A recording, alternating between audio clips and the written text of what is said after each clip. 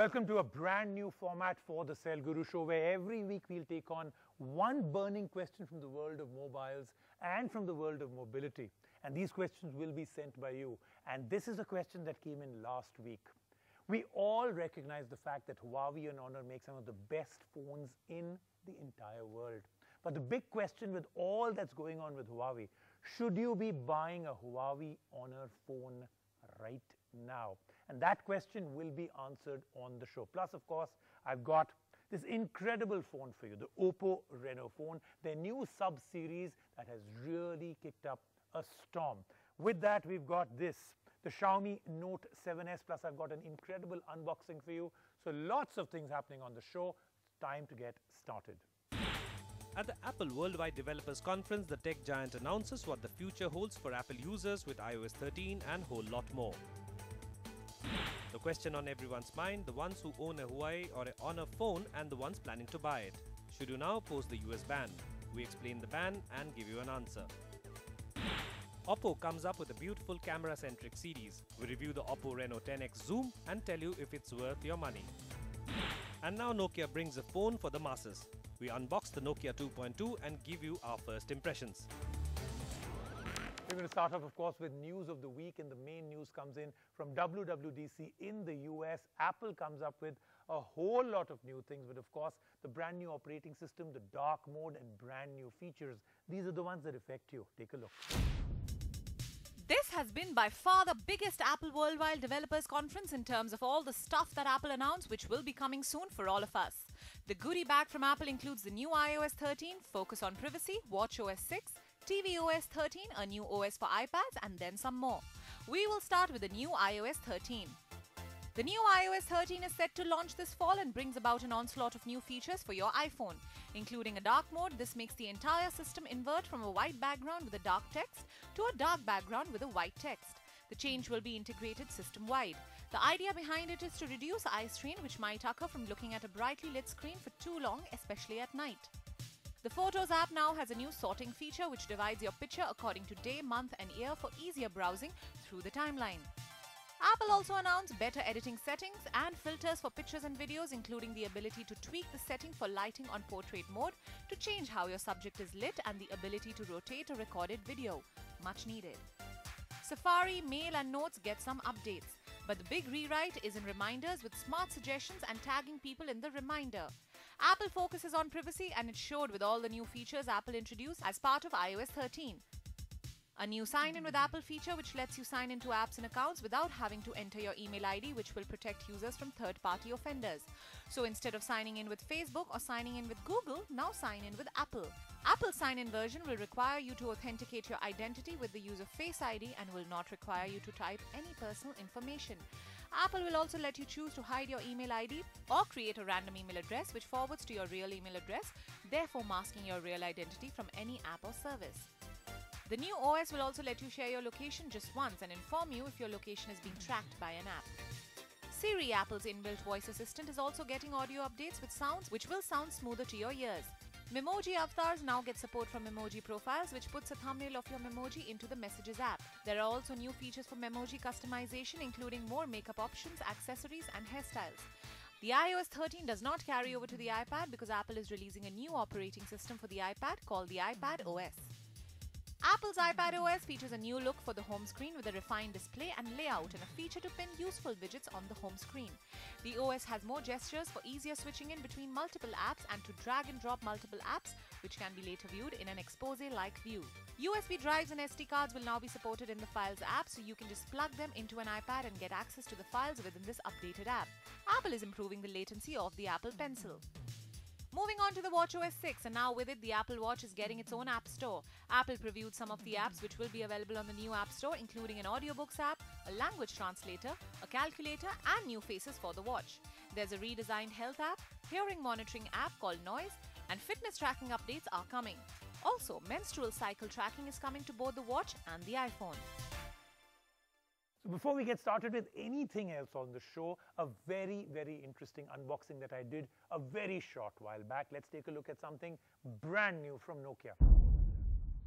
So like I said, I quickly am doing this unboxing because this has just, just been announced and it is Nokia's Wasp. Now that was the code name. It's come out as Nokia 2.2 and it's a very interesting price point for a very, very interesting phone. I'm going to take you through everything that this phone has, but this is just a quick unboxing, quick look. Remember, the main review will come in a later show. So what all does it have? Let me just quickly read through the box and we'll open the box and take a look at the phone. So Android 9 Pie, 5.71 inch HD screen, Google Assistant button, face unlock, 13 megapixel autofocus rear camera. And like Nokia used to do earlier, it actually has Xpress-on covers. You can change the color. We'll take a look at that when I open it. 3000 mAh battery and it's got AIs to actually get a better battery response. It's got a drop notch, two years updates, three years security and Google Lens on the actual camera itself.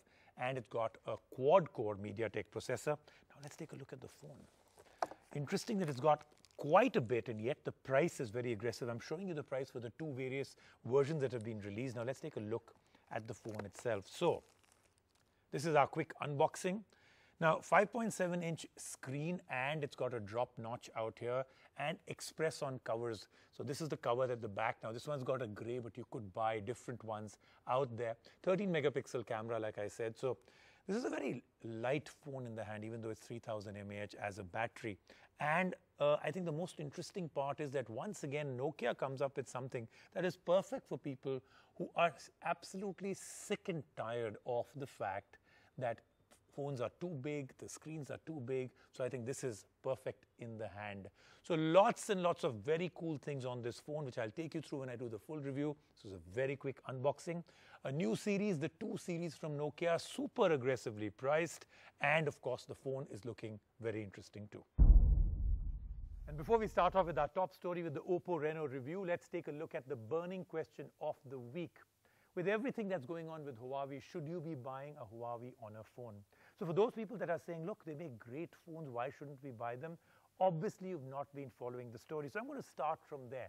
What's going on with Huawei? Huawei is a massive company. In the world of tech, this is taken to be a god company. It's a huge brand. It's the world's number one telecom supplier. It's the number two brand in smartphones, which makes it much bigger than Apple and only second to Samsung. So you get this is a big company. Now this innovation and R&D leader has been banned by the US government to do any business with any company based in the United States. The main reason given is that Huawei is a Chinese spy and poses a risk to national security. Now this was said about Huawei's networking equipment imported by the US and not for the phones or the consumer products. In fact, no real proof has ever been given even about the networking products. This is pure politics and Huawei has come in between the crossfire of a massive, massive trade war between the US and China. Well, you know, this really is nothing to do with technology. It's nothing to do with the company Huawei. They've just become a victim. They've been weaponized because there's this war going on now between the US and China, a trade war, and this is all politics. But how does this ban really affect Huawei? Actually, it's affected Huawei big time. If the ban was to come into place, it means Huawei cannot work or partner with companies like Google, Qualcomm, Intel, and a lot of other US companies. It therefore can't have Android on its phone, it can't have Windows or Intel on its laptops, it can't have Qualcomm chipsets on its phones or tablets. Google Map, YouTube, others may not work on Huawei Honor's new devices. There's a lot more in that story, but of course, now let's get down to the main part of it, and that is all that we know that's happening. Yes, it's a great company. Yes, they're doing great R&D. Yes, it's all politics. Yes, they've got these 90 days that they've got now. But again, the question is, should you be investing? Should you be putting money into a Huawei or an Honor phone? That's the main question, and here's our answer. Let's keep this simple, a straightforward answer. The Huawei ban will never really come into being. It's all a negotiation tactic, it's all politics. Here are the many reasons for it. Number one, Huawei got banned and then the US gave them a 90 day respite. And within that 90 day respite lies the answer. This entire lease of life is an obvious manipulation. The US wants China to come back to the table and negotiate a better trade pact. Second, if China wants, it can retaliate far more brutally ban sales of all US products in China, including Apple and many other brands. Plus, could withdraw rare earth mineral sales to the US, which would leave the US almost completely crippled. So the ban will never come into play. Huawei is too big a company, too innovative a company, and too important in the tech space for it to be banned or taken down. Thus, the straight answer if you like existing devices from Huawei and Honor, then go ahead and buy them. You will get security updates. Android will work just fine. All the Google services will work just fine now and even after 90 days. I have that from very reliable sources across all platforms. You know, the sad part of this is that if politics actually does this to technology, then how much of innovation and R&D goes back several years? We live in a golden era of technology and Huawei is, a, is actually a company that showcases that. It's very sad what's happening. I really, really hope everything now comes to a standstill and we can go back to taking innovation and technology forward. And let's move on now to our top story. This is the Oppo Reno as promised last week. This is going to be our big review and I'm going to tell you everything about the phone that I totally love. First and foremost, it's a great looking phone. Second, the optics of this phone are at a completely different level. The Sony sensor, the 48 megapixel part of it, the 10x hybrid zoom, the shark fin rising camera, all of it is amazing. Then it has no notch. So if you take a look at in terms of what they've done with the VOOC 3.0 charger, the extra battery life that this has, this is a phone that's literally got everything, including a Snapdragon 855 processor.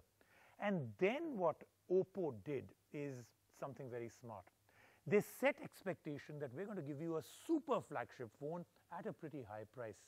The expectation was between 45 to 49,000 rupees for the base. They brought it down to around 39,000 rupees. And that has really, really started getting the market very, very excited. Here then is our review. What comes to your mind when you hear the word shark? The powerful and swift fish, the movie Jaws, the baby shark doo doo doo doo doo doo doo song. But from now, it will also remind you of a phone. A phone called the Reno, a one of a kind phone that comes with a motorized shark fin camera and is part of a brand new series from Oppo. This, pro, uh, this series are engineered for creativity. So we want to establish a whole new brand impression uh, from previously we called ourselves like a fashionable brand, a young brand. But we realize that the core business actually goes to the technology and the product themselves. It's very important because the consumer, what consumer is using every day or interact with your brand is actually the product. So that is why we think uh, it's the right time to release Reno because it represents technology innovator and also the creativity for the users. We have the superior variant, the Oppo Reno 10X Zoom for review. We have to say that it's an intriguing phone and we wanted to know all that it can do the minute we got our hands on it. And of course, we started with the pop-up shark fin camera on the front. When you turn on the face unlock, it pops up when you want to click a selfie. It pops up and will go down when not in use. Oppo claims that the shark fin pop-up camera will last for at least 200,000 openings, which means that if we open the camera 100 times a day, it should last us easily about 5 years. We have seen many pop-up cameras by now, but we like that this one stands out. The front camera is 16 megapixel and clicks good selfies and yes, there is a beauty mode. On the back, the Reno 10X Zoom boasts of three cameras, a 48 megapixel primary lens using Sony sensor plus an 8 megapixel ultra wide and a 13 megapixel telephoto lens. There's also dual optical image stabilization. We love the pictures from the Reno, the colors and the details were sharp. Even the low light photos came out well. And now coming to the 10x zoom capability. We got details till a point post which the noise increased, but the 10x zoom works well. It is smooth and fun to play with. Oppo Reno 10x zoom is a solid phone and we held it in our hands and we could feel the weight. We are not saying that it's bad, it's just that with all the sleek phones around, this feels slightly heavy. We love the glass back and front and how the camera lens are inside the glass and not protruding. But even though it's all glass, the phone doesn't support wireless charging. We wonder why. The back is flat except one thing, the O dot. A dot size bump to slightly raise the phone when placed on its back, we guess only Oppo could think of such a design. The color is another factor that adds taste to this phone. We have the beautiful ocean green color and we absolutely love it. The all-display Reno 10X Zoom comes with a 6.6-inch OLED display with a 1080 by 2340 resolution making the screen crisp with vivid colors. The Reno 10X Zoom runs on the latest version of Color OS, the Color OS 6 on top of Android Pie. There is now an app drawer and a newly designed notifications drop-down. The UI is clean with less bloatware. There is an in-display fingerprint scanner which works well. The phone uses its three microphones to capture what Oppo claims is 360-degree audio. When it comes to power, Oppo hasn't compromised a bit. The Reno 10X Zoom comes with the newest Snapdragon 855 and with 8GB and 6GB RAM options. We have the 8GB variant with us and we enjoyed our time with the phone. It is snappy and quick and even while playing games, everything loaded smoothly and fast. The smartphone supports VOOC 3.0 flash charge and is backed by a massive 4065 mAh battery. So basically, we were sorted for the entire day. The price points are a little more than what you would expect from Oppo. The 8GB plus 256GB variant is priced at Rs 49,990. The 6GB plus 128GB variant is priced at 39,990 rupees. If any product which will come in the India market and that really solving the consumer, that really improving the consumer experience, really solving the consumer problem, then people are liking it. So to, if you see last year, we had launched the uh, flagship, our Find X, which is Super VOOC. So now in, the major problem the smartphone users are facing is the charging. Now we have in this, we had launched the VOOC 3.0 along with that hybrid uh, 10x uh, zoom. So that together make the, this device a perfect and it's really solving the consumer problem and improving their experience. So that really attract the Indian consumer for this product. The Cellguru verdict. With so many phones launching every day, it's very difficult to stand out and make your own space. But even in this crowded market, Oppo Reno 10X Zoom is not only different but also makes its case without any compromises. It's a beautiful phone which we are happy to recommend if you want an absolutely premium camera phone and are okay to spend more than what you will otherwise spend on a mid-range phone. Time now to take a quick break right now on the Cellguru Show. We'll be right back.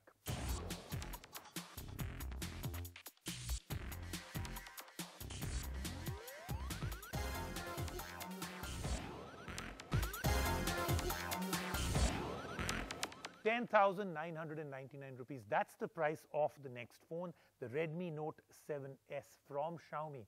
And Xiaomi says now this is a phone and a price point for everybody that wants a 48 megapixel phone. In fact, it says it right here on the box, right under Redmi Note 7S. It says 48 megapixel AI camera. So therefore, that is the big deal. Here's a very quick look at the phone.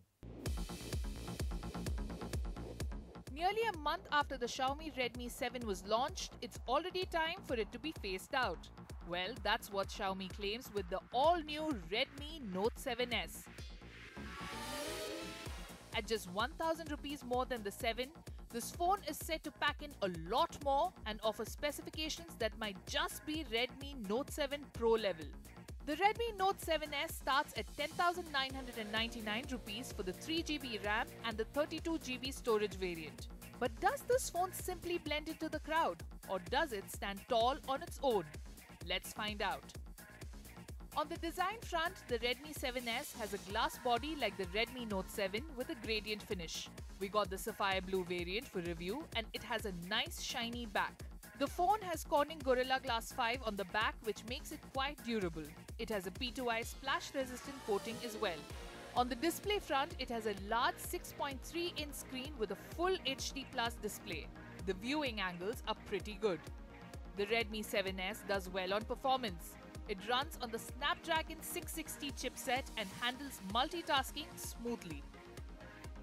We didn't face any issues browsing multiple apps on this phone. But the big upgrade from the Redmi 7 is the camera. This phone houses a 48 megapixel main lens along with a 5 megapixel lens. The shots we took were quite impressive with adequate depth in the shots. The details were good as well, but don't be confused. The sensor on this phone is different from the Sony IMX586 sensor on the Redmi Note 7 Pro. This has a Samsung GM1 sensor. The trade-offs are not very great low-lit shots. The front camera on the Redmi 7S is a 13 megapixel lens with good portrait images. So it's all good on the optics front. But what about the juice this phone packs in? Well, the Redmi Note 7S impresses us with a 4000 mAh battery with quick charge for support. The phone will last you around one and a half days of heavy use. The final verdict? The Redmi Note 7S is a welcome addition to the Redmi family. At around 11,000 rupees, it does well as a day-to-day phone, especially one that houses a massive 48 megapixel camera. If you're looking at a strict budget of under 12k, look at this phone. Otherwise, the Redmi Note 7 Pro remains the head of this family.